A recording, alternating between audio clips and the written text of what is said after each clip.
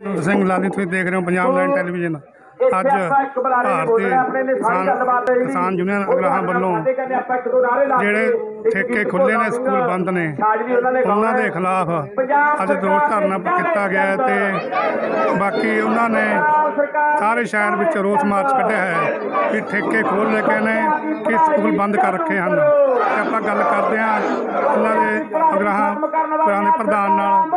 ਵੀ ਕੀ ਕਹਿੰਦੇ ਨੇ ਵੀ ਕਿੰਨਾ ਕੀ ਕਹਿਣਾ ਹੈ ਵੀ ਇਹਨਾਂ ਜੇ ਸਕੂਲ ਬੰਦ ਕਰਕੇ ਸਰਕਾਰ ਨੇ ਵੀ ਉਹਦੇ ਵਾਸਤੇ ਥੋੜਾ ਕੀ ਕਹਿਣਾ ਹੈ ਤੇ ਬਾਕੀ ਠੇਕੇ ਖੁੱਲੇ ਨੇ ਠੇਕੇ ਜੋ ਕਮਾਈ ਹੁੰਦੀ ਹੈ ਸਰਕਾਰ ਨੂੰ ਉਸ ਵਾਸਤੇ ਠੇਕੇ ਖੁੱਲੇ ਨੇ ਸਕੂਲ ਬੰਦ ਨੇ ਜਵਾਕਾਂ ਦੀ ਪੜ੍ਹਾਈ ਦਾ ਬਹੁਤ ਨੁਕਸਾਨ ਹੋ ਰਿਹਾ ਹੈ ਇਸ ਵਾਸਤੇ ਆਪਾਂ ਗੱਲ ਕਰਦੇ ਹਾਂ। ਕਿਵੇਂ ਦੇਖ ਰਹੇ ਹੋ ਅੱਜ ਇਹ ਜਿਹੜਾ ਧਰਨਾ ਤੁਸੀਂ ਲਗਾਇਆ ਕੀ ਕਾਰਨ ਹੈ ਕੀ ਕਹਿਣਾ ਚਾਹੁੰਦੇ ਹੋ?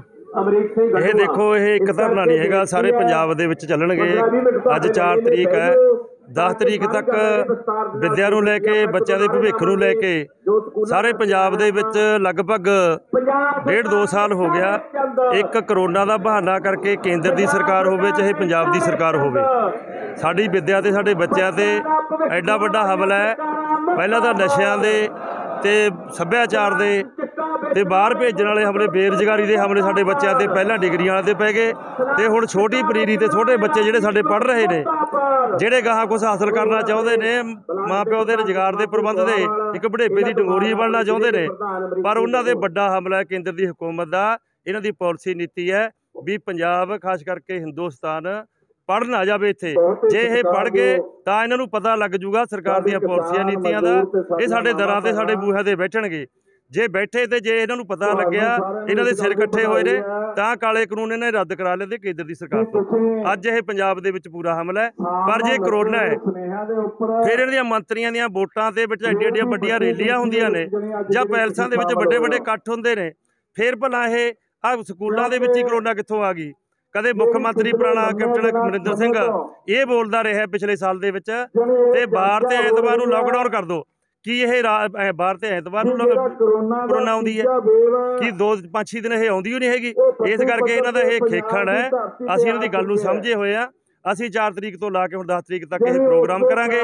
ਜੇ ਨਾ ਵੀ ਇਹ ਪੰਜਾਬ ਦੀ ਸਰਕਾਰ ਨੇ ਜਾਂ ਇੱਥੋਂ ਦੇ ਸਾਰੀ ਪਾਰਟੀਆਂ ਨੇ ਜਾਂ ਕੇਂਦਰ ਦੀ ਸਰਕਾਰ ਨੇ ਨਾ ਸਾਡੀ ਗੱਲ ਸੁਣੀ ਹੋ ਸਕਦਾ ਆਉਣ ਵਾਲੇ ਦਿਨਾਂ ਦੇ ਵਿੱਚ ਸਾਡੀ ਹਾਈ ਕਮਾਂਡ ਇਹ ਸਕੂਲਾਂ ਦੇ ਵਿੱਚ ਇਹਨੂੰ ਚੋਣਾਂ ਕਰਵਾਉਣ ਦੀਆਂ ਵੱਡੀ ਸਮੱਸਿਆ ਹੈ ਜਾਣੀ ਕੱਲ ਨੂੰ ਸਾਰੇ ਬਲਾਕਾਂ ਦੇ ਵਿੱਚ ਤਾਂ ਇਸ ਤਰ੍ਹਾਂ ਪ੍ਰੋਗਰਾਮ ਹੋਣੇ ਆ।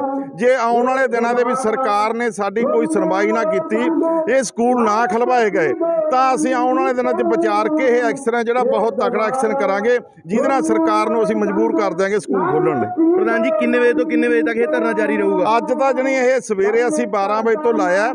ਸੈਰ ਬਿਜਲੀ ਮਜਾਰਾ ਕਰਕੇ ਐਸਡੀਐਮ ਦਫ਼ਤਰ ਦੇ ਬਾਹਰ ਮੂਰੇ ਆਏ ਆ ਜਣੀ ਉਰੇ ਐਸਡੀਐਮ ਸਾਹਿਬ ਤੋਂ ਇਹ ਮੰਗ ਕਰ ਰਹੇ ਆ ਵੀ ਫੌਰੀ ਸਾਡੀ ਜਿਹੜੀ ਗੱਲ ਹੈ ਸਰਕਾਰ ਕੋਲੇ ਪਹੁੰਚਾਈ ਜਾਵੇ ਜਿਹੜੇ ਸਾਡੇ ਸਕੂਲ ਆ ਉਹ ਖਲਵਾਏ ਜਾਣ ਤਾਂ ਕਿ ਸਾਡੇ ਬੱਚੇ ਆਪਣੀ ਜਿਹੜੀ ਵਿੱਦਿਆ ਹਾਸਲ ਕਰਕੇ ਉਹ ਆਪਣੀ ਜਣੀ ਵਧੀਆ ਟੈਸਟ ਦੇ ਸਕਣ ਵਧੀਆ ਆਉਣ ਵਾਲੇ ਦਿਨਾਂ ਦੇ ਵਿੱਚ ਉਹਨਾਂ ਨੂੰ ਜਿਹੜਾ ਰੁਜ਼ਗਾਰ ਆ ਉਹ ਮਿਲ ਸਕੇ। ਪ੍ਰਧਾਨ ਜੀ ਕੋਈ ਇਸ ਸੰਬੰਧੀ ਕੋਈ ਮੰਗ ਪੱਤਰ ਵੀ ਐਸਡੀਐਮ ਸਾਹਿਬ ਨੂੰ ਦੇਣ ਜਾ ਰਹੇ ਹੋ? ਅਜੇ ਅਸੀਂ ਕੋਈ ਮੰਗ ਪੱਤਰ ਨਹੀਂ ਆਇਆ। ਅਜੇ ਤਾਂ ਸਿਰਫ ਅਸੀਂ ਸੁਣਾਉਣ ਹੀ ਕਰਨ ਆਇਆ ਸਰਕਾਰ ਨੂੰ।